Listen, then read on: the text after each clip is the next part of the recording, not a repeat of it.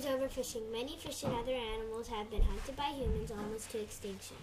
Hawaiian Islands have decreased fish population in the past 100 years. Our practices of overfishing are unsustainable. People are taking too much fish and less and less fish are in the ocean and hardly remain.